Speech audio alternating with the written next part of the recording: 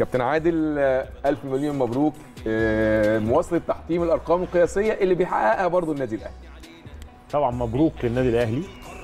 والحمد لله مواقف مكررة ومواقف آه، في وقت قليل آه، أربع خمس بطولات في وقت قليل في ست سبع شهور منهم بطولتين ثلاث بطولات أفريقيا بطولة سوبر وبطولتين أبطال دوري.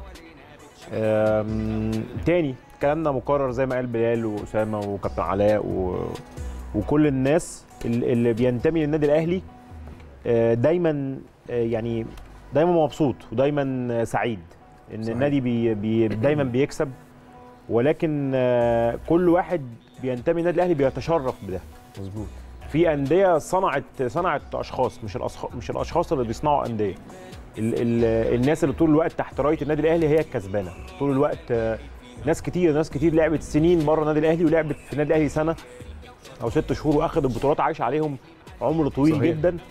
وهو ده اللي دايما النادي الأهلي آه، الناس تتكلم الأهلي بمنحدر والأهلي طول عمره هو اللي بيرفع من قدر الأشخاص. مظبوط. مش الأشخاص هي اللي بترفع من قدر النادي الأهلي. وناس كتير جدا بتتمنى دلوقتي ترجع تقول يا ريتني أبقى موجود جوه النادي. لو بتلعب أو بطلت. الناس اللي بطلت نفسها ترجع تلعب في النادي الأهلي تاني. كل الناس بتستفيد من ورا النادي الأهلي. استفادة مادية واستفادة معنوية. اللي موجود في مجلس إدارة اللي موجود في جهاز فني اللي موجود كلعيبه اللي موجودين هنا في القناة. إحنا بنحلل. أنا الحمد لله بتشرف إن أنا موجود هنا. آه، ال- الاستوديو ده أعتقد في الخمس بطولات اللي فاتت كنا موجودين. اخذنا خمس بطولات. وشنا حلوة الحمد لله. وشه حلو عليه. وكل وكل الناس اللي موجودة في القناة آه، إيهاب الخطيب وإسلام الشاطر آه، آه، الشركة كلها اللي موجودة الناس اللي بتدير القناة. مبروك ليهم. والناس اللي ورا الكاميرات طبعاً. والناس اللي في دول أول الكنترول ناس- والناس كلها بصراحة. وبرجاوي دول يعني أول ناس بنتكلم أول وبرجاوي ناس اللي وقعت في الساحل. آه لا لا رجع رجع. رجع؟ دوس على برجاوي قوي يعني. أول ناس. بي يعني بي بيفرحوا بيفرحوا قبلنا. إحنا ممكن نكون إحنا منتميين ولكن فرحتنا بتبقى فيها شوية هدوء شوية إن إحنا آه، مدربين وناس بتقدم برامج. لكن الناس دي هم فعلا الجمهور الحقيقي هم اللي. فرحتهم بتبان. مبروك للنادي الأهلي مبروك لكل واحد بينتمي للنادي الأهلي بس أنا عايز أدي و- للجيل ده حقه يا كابتن عادل لا الجيل ده خلاص بياخد حقه هو بياخد آه، حقه يعني هو بياخد حقه جوه 10 الملعب شهور وجايب خمس بطولات طبعاً. اتفضل مش العالم. عشرة. ثانية واحدة. تمن شهور. معلش عشان واحدة اتفضل اديله حقه كابتن عادل هديله حقه انت بتقول عايز اتفضل لا هو عادل. عادل مش ماسك اللي آه بياخد طبعاً حقه يعني. بياخد حقه بعد ما يبطل بكمل البطولات اللي أخدها آه والتكريم الحقيقي لأي لعيب بعد ما يبطل مش هو بيلعب. التكريم الحقيقي لأي بقول لعيب لكم يا جماعة؟ معلش قطعت هو بعد الب... بعد ما بتبطل عادل. وبطولاتك عادل. بتضيف لك إيه؟ اتفضل يا كابتن. التكريم الحقيقي للجيل ده إن هو جوه النادي ده.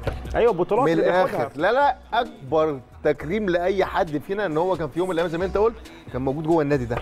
ده أكبر أكبر تكريم أي واحد بيتمناه وعايز وعايز اتكلم ترجع كمان. وعايز أقول حاجة برضه أنا يعني نادرا لما بتكلم على أشخاص بس برضه عايز أدي كابتن خطيب حقه في نقطة. الحقيقة إن أنت ممكن تبقى رئيس نادي تروح ماتشات اللي فيها الشو أو اللي فيها حاجات مضمونة. كابتن خطيب طلع كل البعثات اللي كان فيها مشاكل أو طلع كل البعثات اللي كان فرقة فيها عايز أقول على كف عفريت. كل الماتشات الفاصلة هو كان موجود فيها. من السنة اللي فاتت كل الماتشات كان موجود فيها. إحنا حلينا البطولة السنة اللي فاتت كلها موجودين هنا في أفريقيا. كابتن خطيب كان موجود فيها. وهو شال عبء آه، آه، ملف كرة القدم لوحده وراهن عليه لأن في البداية كان في مشاكل كتير جدا وكان في ناس كتير جدا بتشكك في حاجات كتير. آه، أنا واحد من الناس اللي كنت مرشحها في- موجود في الجهاز قبل موسيماني وكنت شايف وكنت بدعم موسيماني من البداية إن هو موسيماني اختيار ممكن يكون اختيار جيد وفعلا بال- بالفعل كان اختيار جيد.